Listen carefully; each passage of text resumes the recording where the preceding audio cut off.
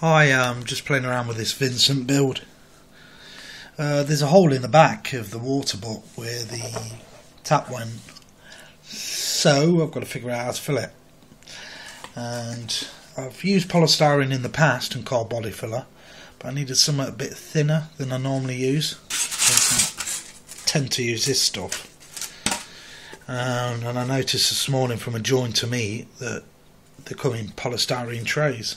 So I'm going to hopefully fit hot glue that in there like that, and then using Jer- one of Jeremy's techniques.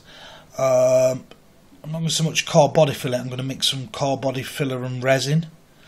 So I've got a thinner mix, and that way it will stretch further, and you still should do the job.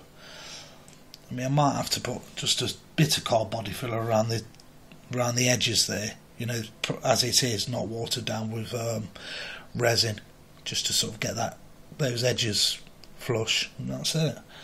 So I'll get back to it after I've done it and see what it looks like.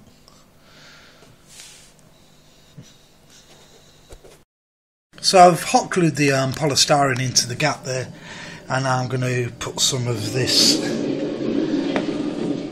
resin um, thin down with well, sorry, car body filler thin down with resin. Get it right. I'm going to coat it with that and see how I get on. So I've coated over it now. Uh, we'll let it set. Might need another skim.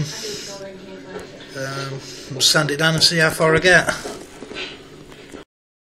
Anyway, with Jeremy's mixture of um, car body filler and liquid resin, this stuff comes out like plastic. I know it looks lumpy, but you know when you feel it, it don't feel like car body filler. It's got like a smooth, shiny surface. surface.